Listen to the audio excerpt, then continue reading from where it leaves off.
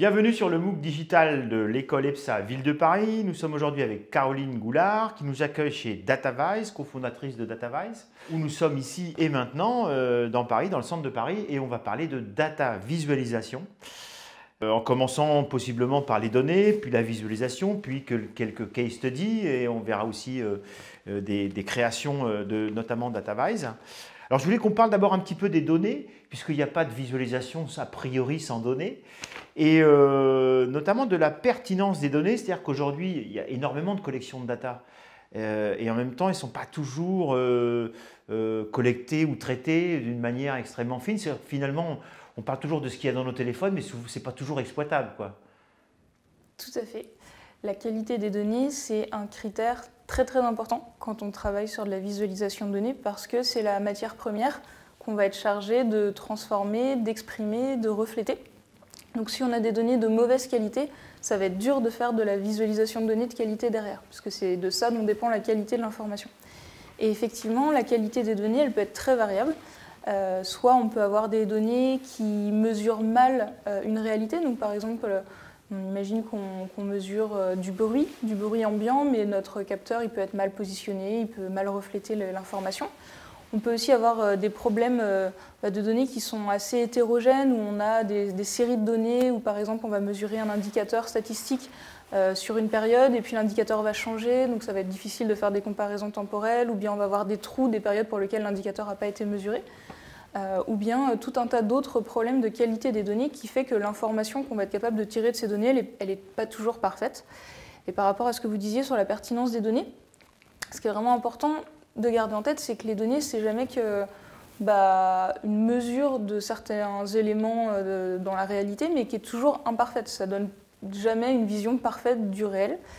Et c'est toujours un petit peu le, bah, le, biais qu'on peut avoir quand on travaille avec les données, c'est que souvent les gens pensent que bah, les données c'est plus objectif, euh, c'est un peu euh, la vérité brute parce que c'est les données, parce que c'est des mesures, alors qu'en fait euh, pas du tout. Il y a plein de façons de, biaiser des données, il y, a plein de façons, il y raisons pour lesquelles les données ne reflètent pas parfaitement la réalité, dont le problème de qualité des données et des, et des mesures.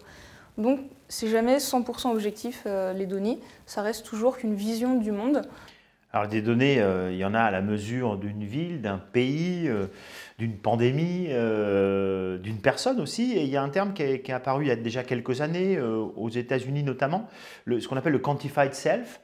ça, c'est notamment avec les, montres hein, qui, mesurent beaucoup de choses, notamment nos foulées, etc. Ça, c'est des choses sur lesquelles on reviendra, la santé. Ça, c'est un mouvement assez fort euh, aussi de, ces gens qui, voudraient peut-être pas forcément avoir la main sur leurs données, mais en tout cas être un peu, un peu plus acteurs de, ses propres, de leurs propres données. Alors il y, a, deux choses différentes dans, ce dont vous parlez. Il y a effectivement ce qu'on appelle le courant du quantified self, qui est une pratique qui consiste à collecter des données sur euh, soi et son activité euh, personnelle pour bah, mieux comprendre sa personnalité ou, la façon dont on interagit avec son environnement. Et donc ça, c'est une pratique qui, à la base, euh, vient euh, du médical, du domaine médical. Par exemple, pour euh, traiter des problèmes de troubles de personnalité ou des problèmes d'humeur changeante. on a pu, par exemple, recommander à des patients, surtout aux États-Unis, bah, de noter, par exemple, sur un carnet à chaque fois qu'ils avaient tel ou tel trouble.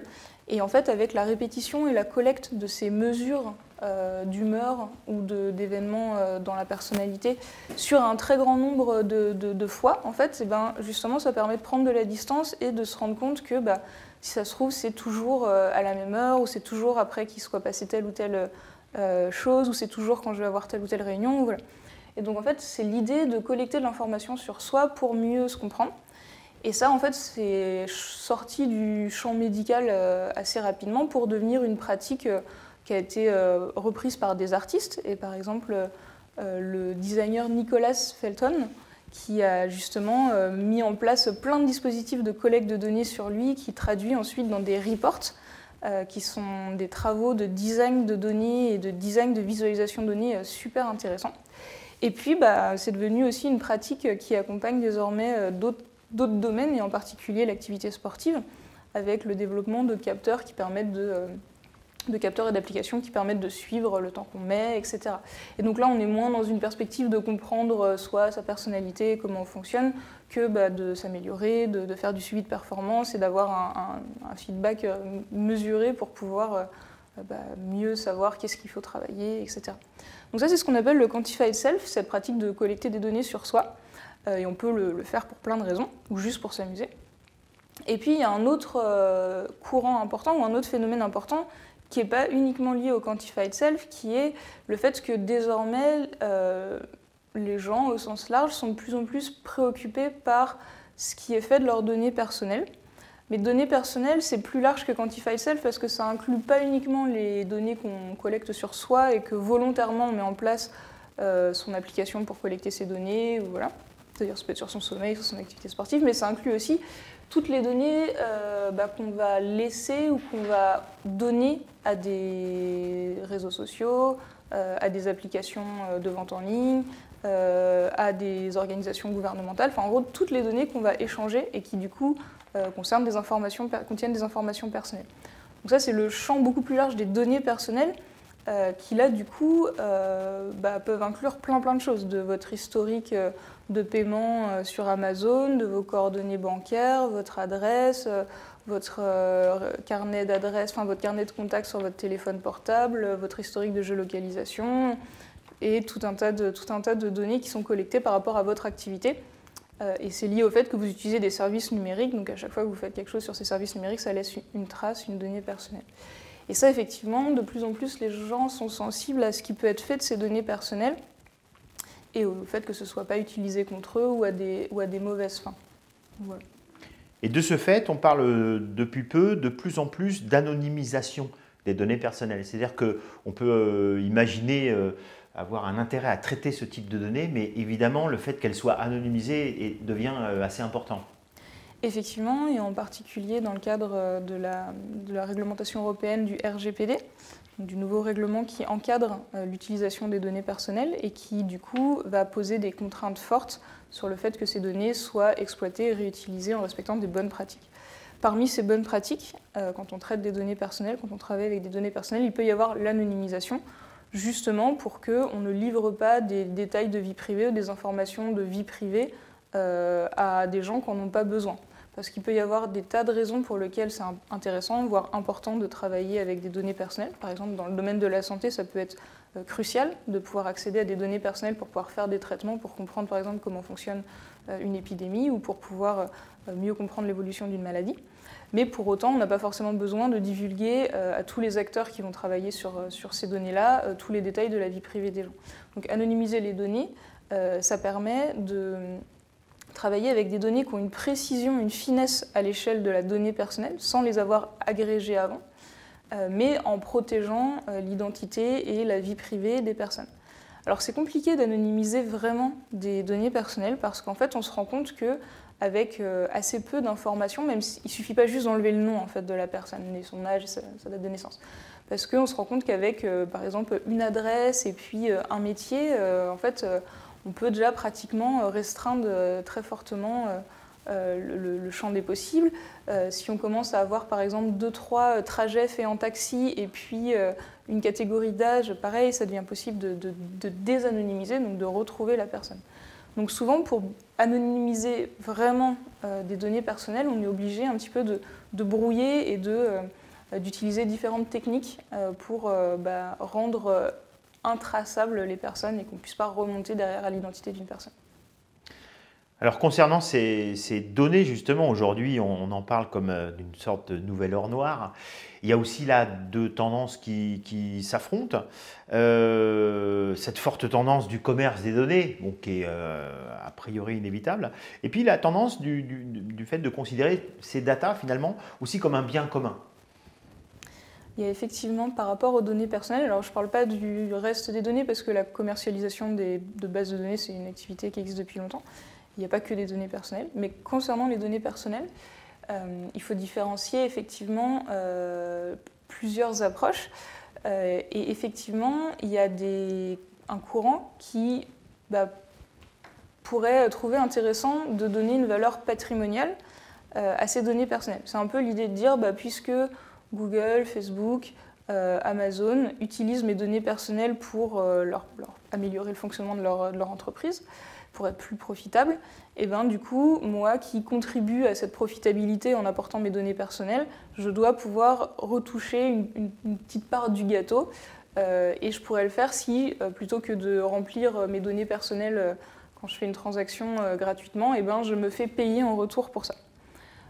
C'est un peu l'idée que, bah, voilà, pour que je dise à Facebook que je poste des choses sur Facebook, que je mette des éléments sur ma vie privée sur Facebook, Facebook doit en échange me donner de l'argent.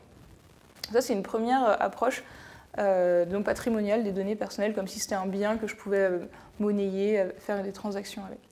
Et puis il y a effectivement d'autres approches des données personnelles qui considèrent que c'est difficile de, se représenter ça comme un bien parce que bah, d'un côté, si Facebook n'existait pas, s'il n'y avait pas les fonctionnalités de la plateforme, en fait, vous ne créeriez pas ces données personnelles sur la plateforme. Donc c'est plus quelque chose qui les données personnelles qui à la fin se dégagent de votre relation avec Facebook que euh, quelque chose qui est à vous et que vous, que vous aviez avant et que vous donnez à Facebook. Euh, parce que s'il n'y avait pas de plateforme Facebook pour poster des messages et vos photos privées, ben, vous ne les posteriez, vous les donneriez pas à Facebook. Euh, de la même façon que ben, vous pouvez difficilement considérer par exemple votre euh, votre numéro de sécu, bah, il appartient pas que à vous. Vous avez un numéro de, sécu, de sécurité sociale parce qu'il y a une sécurité sociale. Donc, dans un sens, votre numéro de sécurité sociale, il est autant à vous qu'à l'organisation qui vous donne ce numéro. Donc, c'est un peu cette idée de considérer que les données personnelles, dans le fond, elles sont c'est personnel parce que ça décrit euh, une personne, mais ça ne veut pas forcément dire que c'est à soi, que c'est un truc, euh, un bien à soi. Et surtout, il peut y avoir beaucoup plus de valeur sociale à considérer que ces données personnelles, bah, c'est pas un truc que chacun décide ce qu'il fait ou pas avec. Parce que du coup, ça peut conduire à, mettre une pression un peu, euh, peu euh, euh, peut-être pas bénéfique sur le fait que bah, voilà, si c'est pour gagner 50 euros à la fin du mois, je peux donner toute ma vie privée à Facebook, Google, et, et si moi ça me plaît, à la limite, très bien. Mais en fait, ça nous empêche de nous poser la question de, à l'échelle de toute une société, est-ce que c'est vertueux Est-ce que c'est est-ce que c'est vraiment euh, un modèle de société euh, qui convient Est-ce que ça ne ça inverse pas le poids euh, dans la relation avec, avec ces, grands acteurs-là du numérique?